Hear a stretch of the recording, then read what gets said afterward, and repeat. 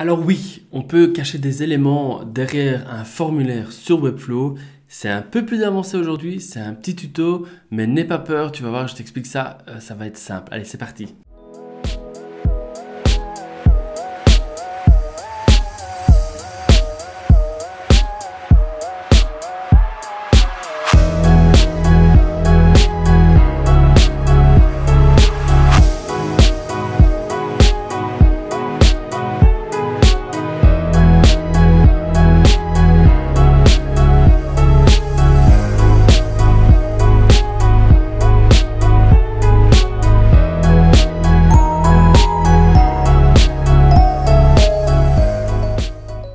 Alors avant toute chose, si cette vidéo te plaît, n'hésite pas à appuyer sur le pouce vers le haut et donc abonne-toi et appuie sur la petite cloche comme ça tu es notifié dès que j'envoie une nouvelle vidéo. J'envoie 5 vidéos par semaine et l'idée c'est de te donner du contenu pour freelance, web designer et freelance et business pardon.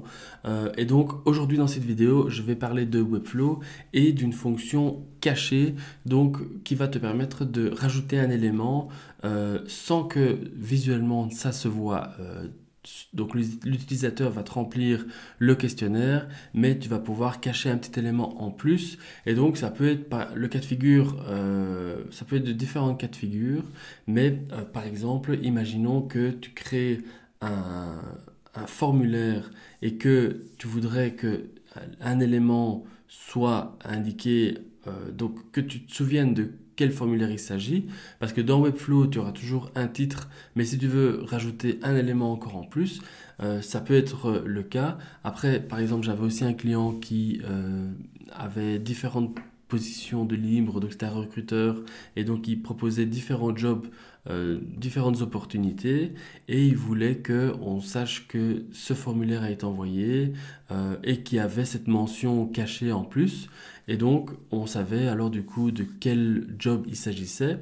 Et donc, le fait de cacher des éléments, c'est un peu plus avancé, c'est plutôt rare que, tu en auras besoin, mais pourquoi pas, écoute, euh, je voulais te montrer ça, euh, comment ça se passe dans Webflow, parce que c'est un peu de code, mais c'est vraiment pas chinois, et donc euh, je vais te montrer mon écran, comme ça, sera beaucoup plus clair, et tu verras, c'est pas si compliqué que ça. Allez, à tout de suite. Alors donc on se retrouve ici sur Webflow, et j'ai pris l'exemple d'un formulaire ici, et ce que j'ai ajouté comme élément, tu vois, c'est le petit euh, embed qu'on dit. Donc c'est un peu un petit encart HTML euh, qui est, euh, que tu peux ajouter comme ça ici.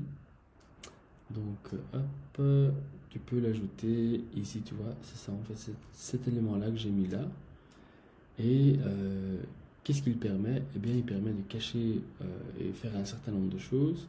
Et donc, la ligne de code qui va être ajouter, c'est celle-ci. Euh, et qu'est-ce qu'elle dit? Eh bien, elle dit que euh, le type d'élément, c'est un élément caché, donc il ne sera pas affiché. La classe, euh, c'est la classe du, du, nom, donc ici, élément caché. Donc si j'appelle élément caché, je vais indiquer le même nom ici. Donc ça, c'est par exemple si tu mets plusieurs éléments cachés, au moins tu peux les dissocier. Et la valeur, donc la valeur c'est voici mon élément caché. Ok. Donc une fois que tu as publié et une fois que tu vas euh, remplir et faire le test sur le site en ligne, tu vas recevoir un email, euh, par exemple ici, qui indique euh, l'élément 3 avec la valeur hidden. Donc ça c'était un test que j'avais fait. Euh, juste avant pour te montrer, mais le principe est le même ici.